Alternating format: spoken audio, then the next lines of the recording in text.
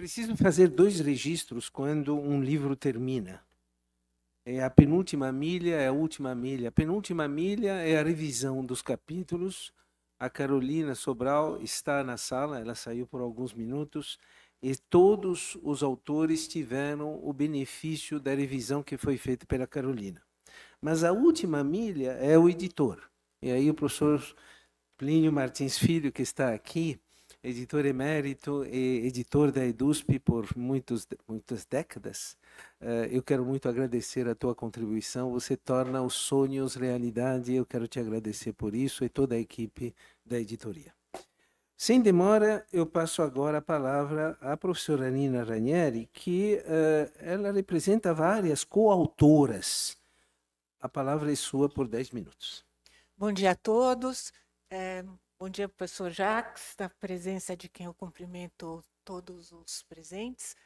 É, esse artigo, ele dá sequência a pesquisas feitas anteriormente por esse grupo de coautoras, que é um grupo bastante grande. Ele é composto de alunas de graduação, de pós-graduação, de pós-docs, além de professoras. E é por essa razão é, que se constituiu esse conjunto tão grande, porque os dados apresentados no artigo não foram obtidos exclusivamente desta feita. Né? E o artigo se volta a uma temática que não é nova nem é inovadora, é a temática da inclusão de gênero na academia.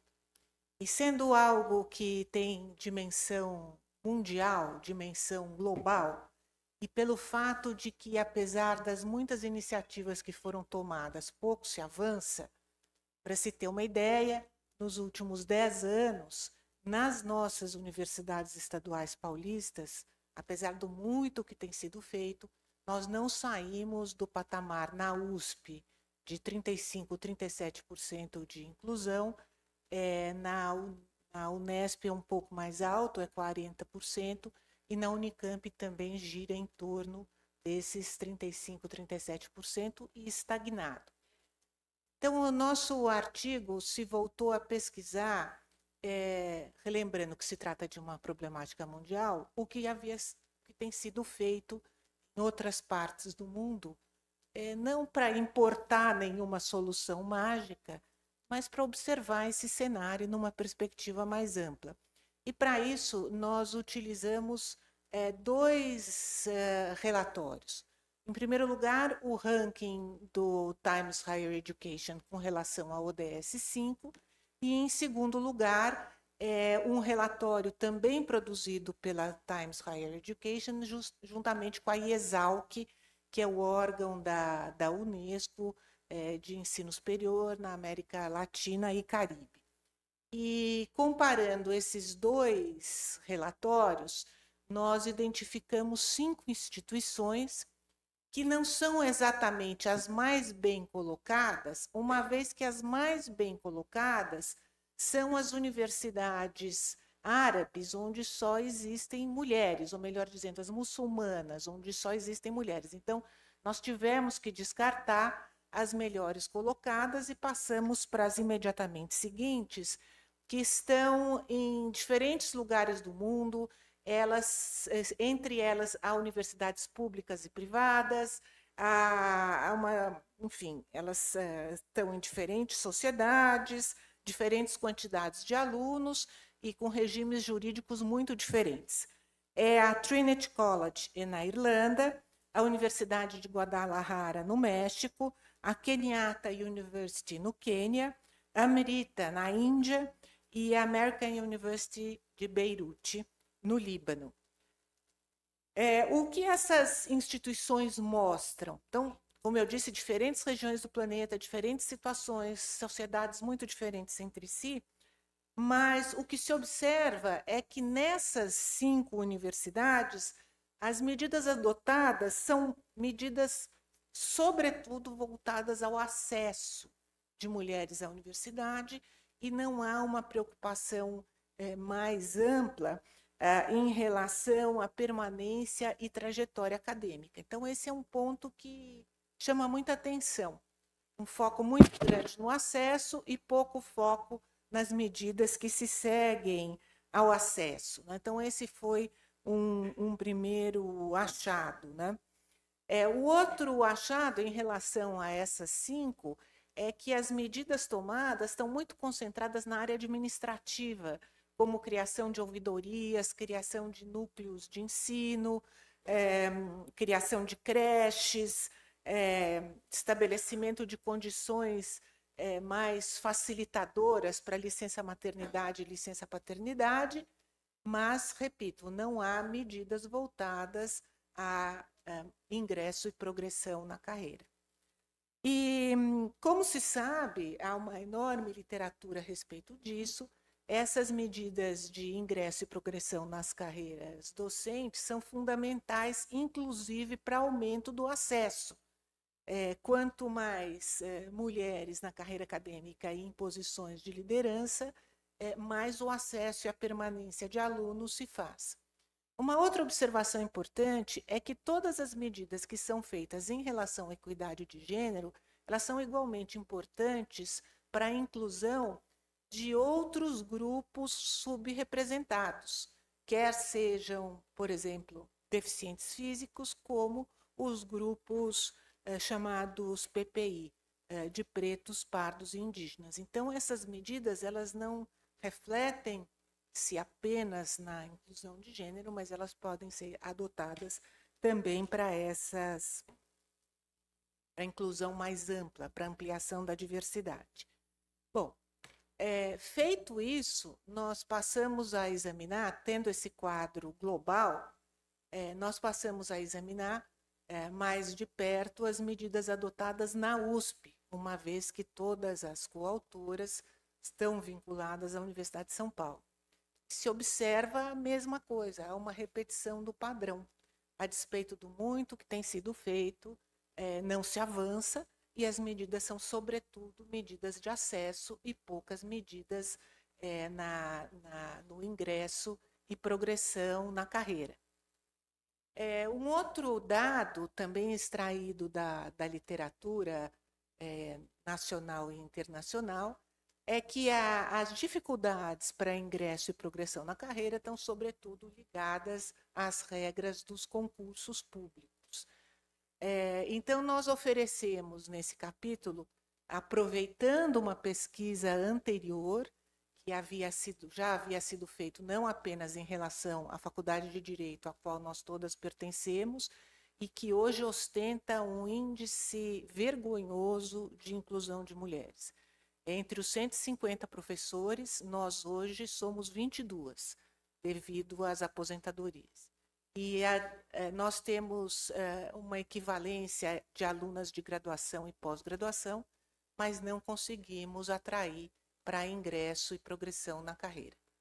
É, há dados da própria USP mostrando a composição de bancas de modo generalizado, onde a presença de homens é muito maior que a presença de mulheres, enfim, há uma série de dados já coletados pelos órgãos da USP, em particular pela Egida. Então, nós fazemos uma série de é, sugestões para tornar os concursos, por assim dizer, mais amigáveis para as mulheres. É, esses, essas propostas constam de um documento elaborado anteriormente, que foi entregue ao, ao, reitor, ao nosso reitor da universidade, com uma série de alterações no regimento geral, justamente nesse sentido. Então, como eu quero fazer propaganda do livro e quero que o livro venda muito, eu não vou detalhar as medidas e deixo para todos analisarem o que está muito bem feito, muito detalhado. Eu estou vendo algumas das coautoras aqui. É, é, uma das coautores está fazendo essa um duplo, uma dupla titulação com Paris 1, comparando a situação francesa, que não é muito diferente da nossa. E, e com isso eu encerro aqui a minha apresentação. Muito obrigada.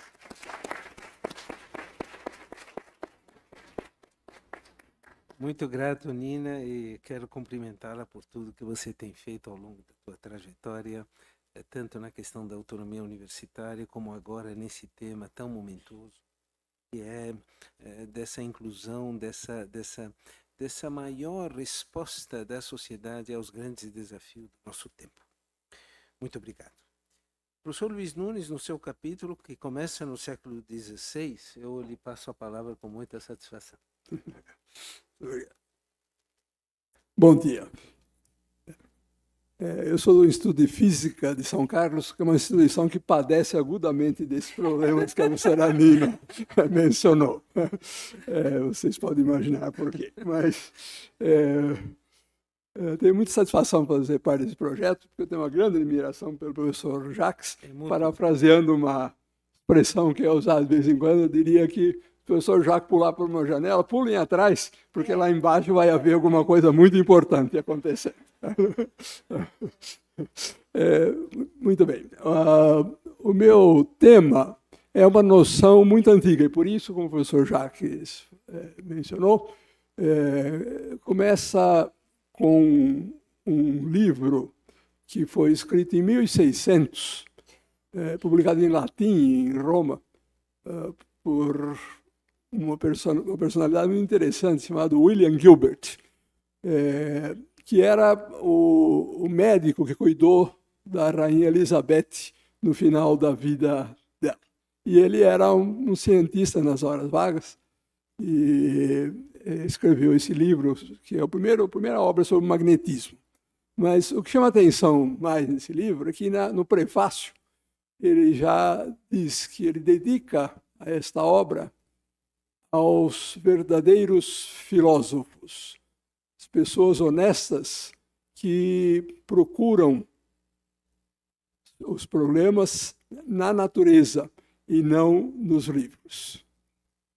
É, então, essa, essa frase pode ser entendida como talvez um elogio a Aristóteles, porque Aristóteles sempre eh, recomendava que se começasse pela observação da natureza.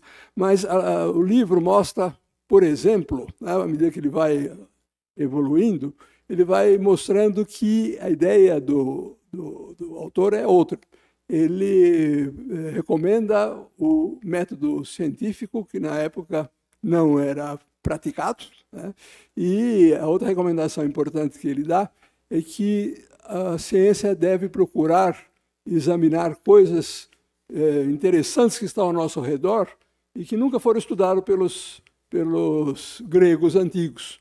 Né? Naquele tempo se dava muito valor à cosmologia, à astronomia. Ele falou: o mundo está cheio de coisas interessantes para as quais ninguém dá atenção.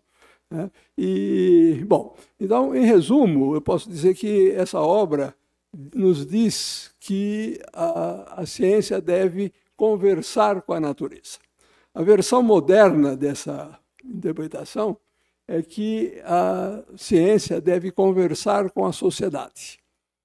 E isso é mais do que é, ciência cidadã, porque nessa afirmação está a ideia de que a sociedade, as comunidades, devem ser é, sujeitos da, da, das pesquisas e não apenas objetos.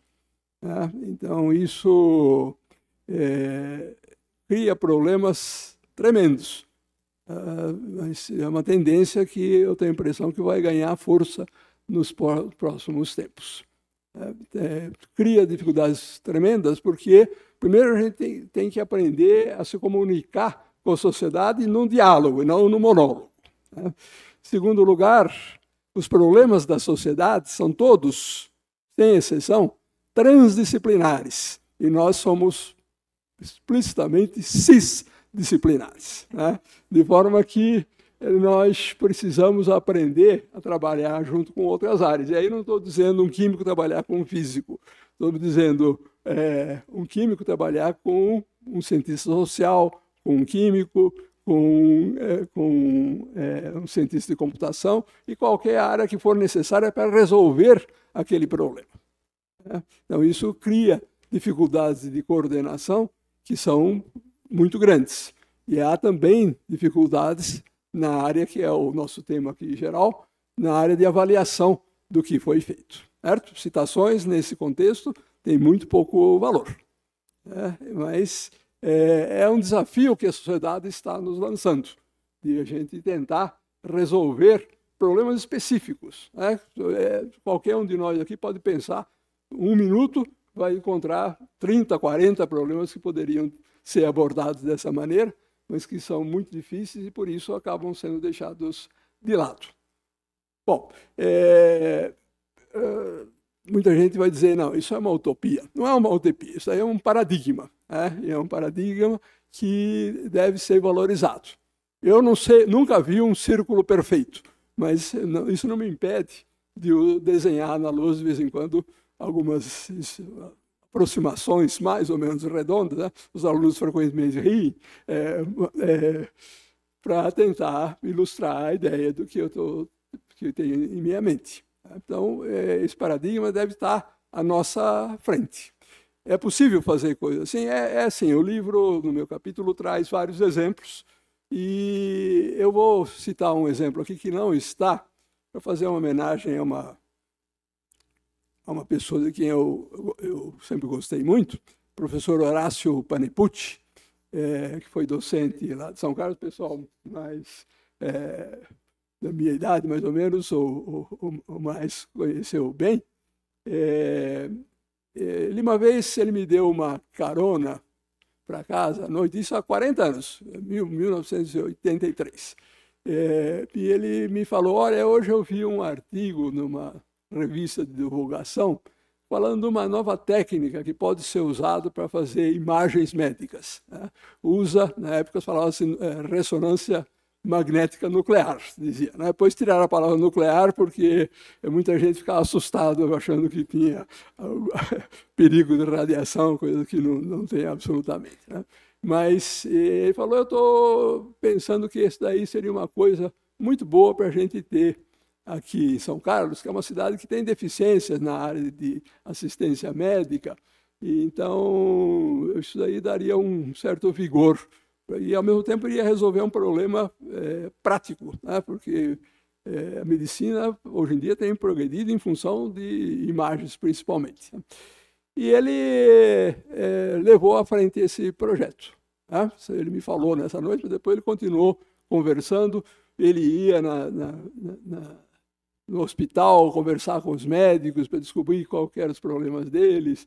Ele convidou engenheiros para participar pessoal de computação, foi procurando o que for necessário. No fim, ele conseguiu que a GE doasse para ele a parte mais cara do equipamento, que é o, o eletroímã, onde é feita a imagem.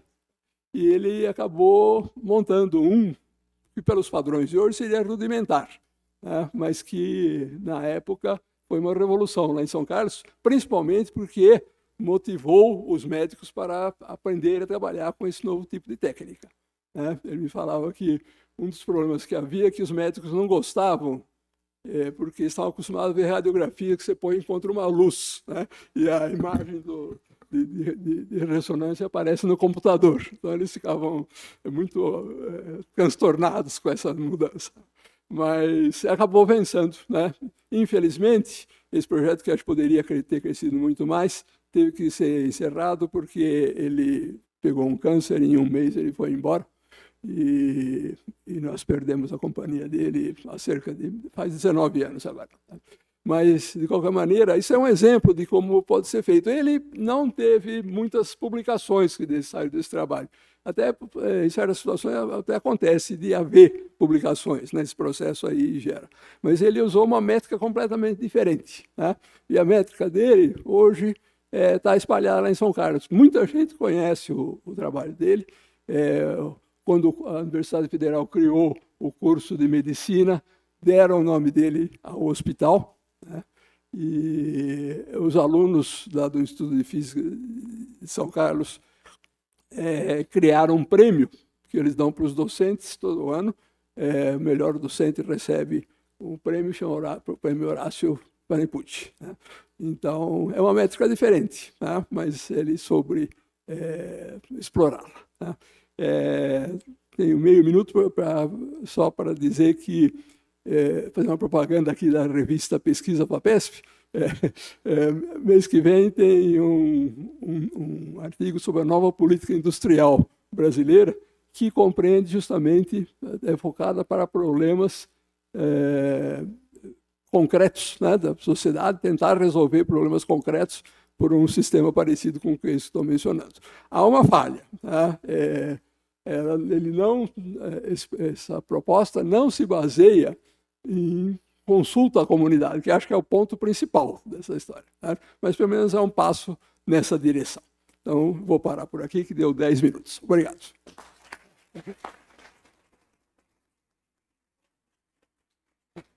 Muito obrigado, professor Luiz Nunes. Primeiro, um, cuidado: nem todas as janelas vão chegar num destino bom, porque para escolher uma boa janela, temos que cair em janelas que a caída não é tão segura e, portanto, temos que tomar muito cuidado.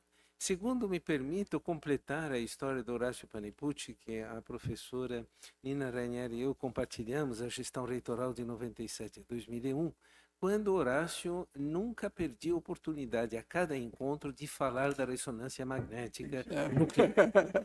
E o grande tema na época, eu falo isso para os colegas leitores e vice-leitores, era aonde colocar a máquina, porque ele queria colocar no Instituto de Física. Só que isso implicaria que os pacientes teriam que ir até o Instituto de Física de São Carlos. E essa foi uma das discussões, além dos aspectos que o nosso querido Luiz Nunes trouxe.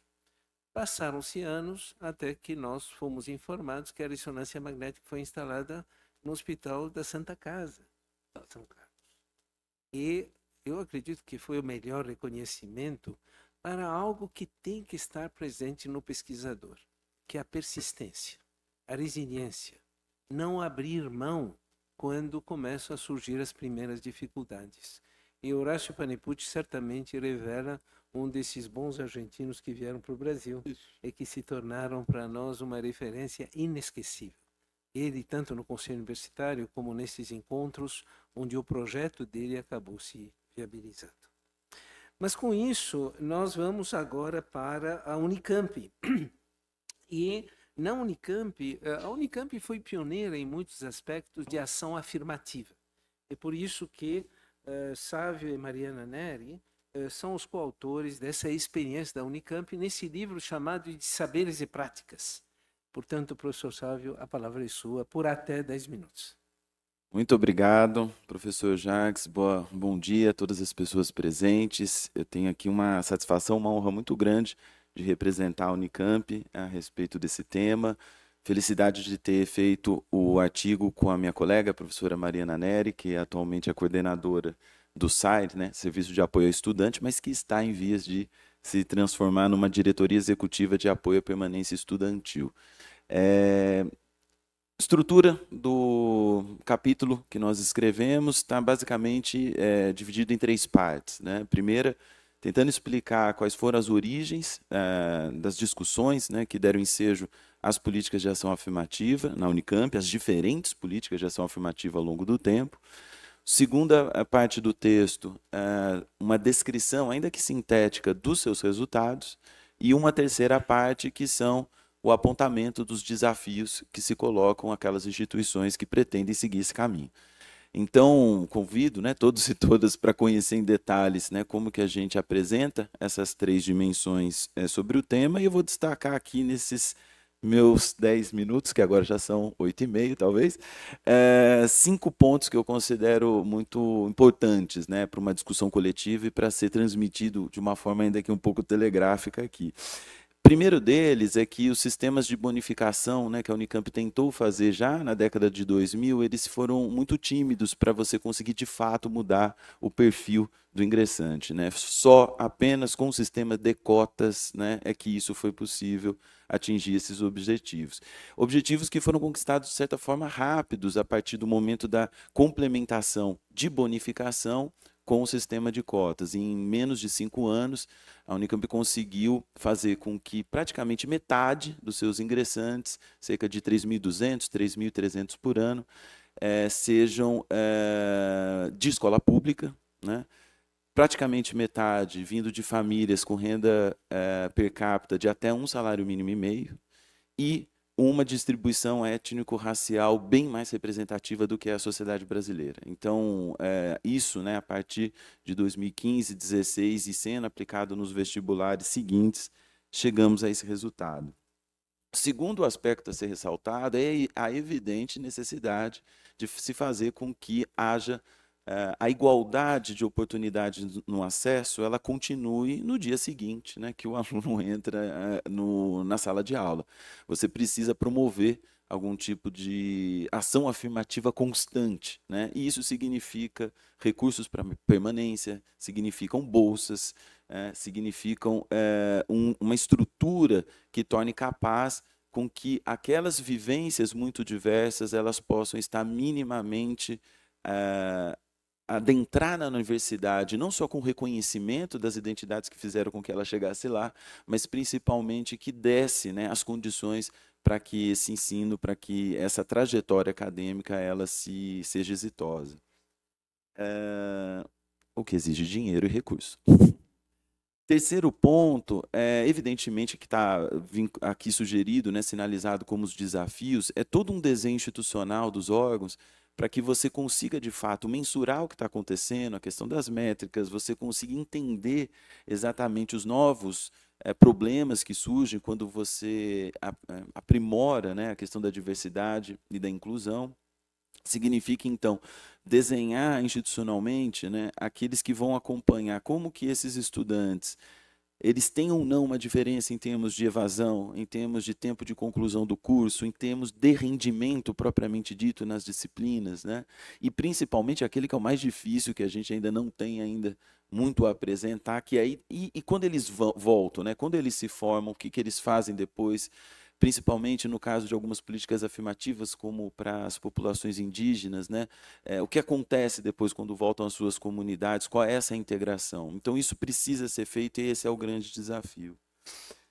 Quarto ponto, é o penúltimo, já vou terminando. O quarto ponto é que aqui entra talvez um aspecto que a gente é, deixou mais talvez implícito do que explícito no texto, que era o debate mais comum, né, quando políticas de ação afirmativa são, foram discutidas no Brasil como um todo, não só na Unicamp. Estamos fazendo isso por justiça social, por reparação de alguma injustiça histórica? Estamos fazendo isso porque a gente precisa ser bonzinho? Ou isto é uma forma de repensar a produção do conhecimento? Isto é uma forma, sim, de democratizar acesso, mas também pensar o que a gente faz. E acho que foi esse o caminho que a gente optou, e é difícil, mas precisa ser construído. Né? Quais são aqueles olhares que fazem com que aquilo que se fazia até então se mostre limitado para tentar entender as suas potencialidades. O quanto de, é, isso significa também do ponto de vista da formação docente né, de qual era a ideia de ciência que os docentes tinham, das técnicas que buscavam é, mostrar para os seus, seus estudantes e o quanto de potência estava ali escondida se mais pessoas com vivências diferentes pudessem ver aquilo que estava acontecendo seja pela questão do gênero, seja pela questão racial, seja pela questão étnica, a questão da diversidade socioeconômica. Né? Como que isso impacta, como que aquelas vivências podem fazer com que com aquilo que eu entendo por ciência se, também se modifique. Então, é justiça social, é um princípio igualitarista, é um princípio que tenta atenuar a desigualdade social, mas é um princípio que também pode elevar e modificar o conteúdo do que se entende como ciência. E para finalizar, um último ponto, eu acabo de sair, eu sou, enfim, estou trabalhando atualmente como assessor docente na Pró-Reitoria de Graduação, e a gente lidou com um período difícil na Unicamp, que é de greve discente. Nunca é simples, né? Você conseguir fazer com que isso tenha um desfecho sem aumentar as tensões. Não vou entrar muito aqui em detalhes, até porque tudo começou com um fato muito grave que enfim.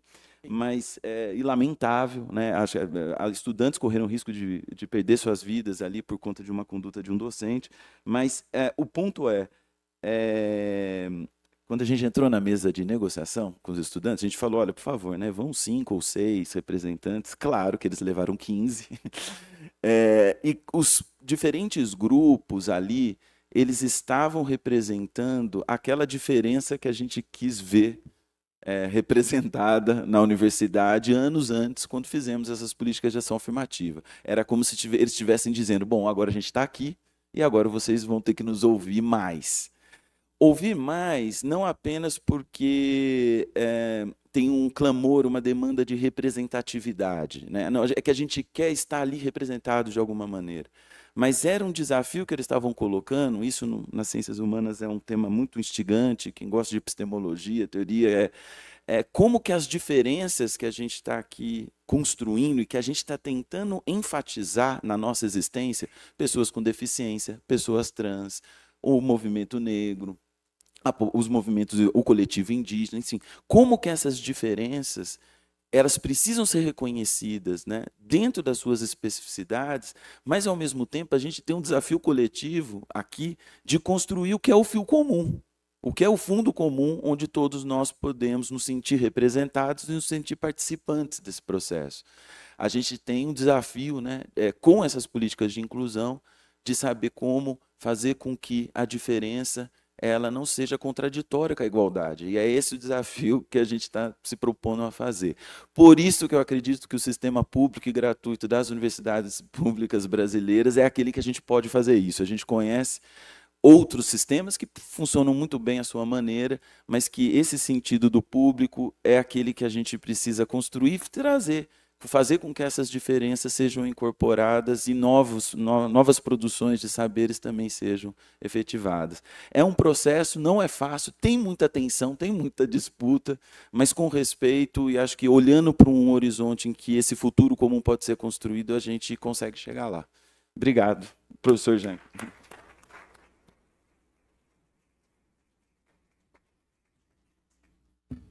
Queria sublinhar o que nós acabamos de ouvir do professor Sávio, que deve estar sendo enfrentado por muitas universidades.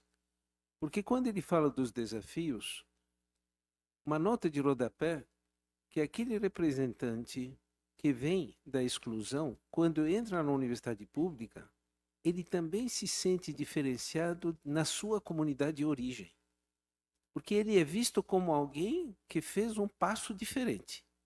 E nem sempre apreciado, porque às vezes ele é fonte de receita na origem, o que quando ele estuda deixa de trazer uma contribuição para o núcleo familiar. Então, o primeiro desafio que o professor Sávio coloca muito bem é como preparar a chegada dessas pessoas que fazem parte de minorias para dentro da universidade. E como elas vão ser inseridas na universidade dentro de uma cultura que é muito distinta, que não é um microcosmo da sociedade. A universidade não é um microcosmo da sociedade, é algo diferente. E, portanto, aqueles que vêm de uma exclusão extrema, onde a violência faz parte do seu dia a dia, como entender a universidade como um lugar de convivência, de respeito, de tolerância, eh, de justiça, que não é necessariamente o microcosmos da universidade. E o segundo desafio que o professor Sávio coloca para todos nós é a preparação para uma inserção na sociedade depois da sua formatura, que não é simples e não é trivial. Felizmente, temos alguns casos, como a questão do, do trabalho do Zé Vicente no, na, nas faculdades Zumbi dos Palmares, que mostram que existem possibilidades. Mas exige muito tempo, exige muita energia, existe muita curadoria desses projetos para viabilizar.